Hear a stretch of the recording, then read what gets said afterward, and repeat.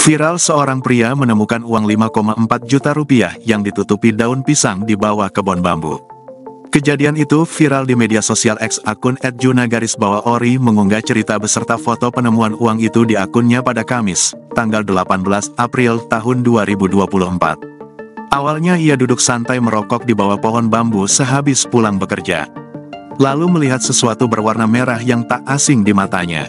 Uang yang ditutup pisang itu tergeletak di dekat satu makam Cina besar dan kerap ditemukan sesaji di makam tersebut.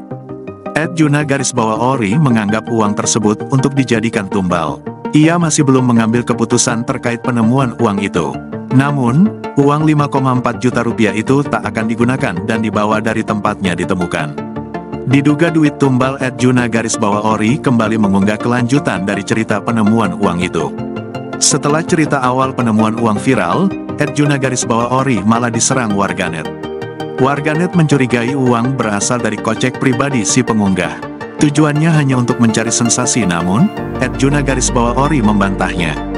Uang tersebut bukanlah miliknya. Ia menceritakan uang itu diduga untuk dijadikan tumbal yang dilakukan oleh salah satu oknum instansi.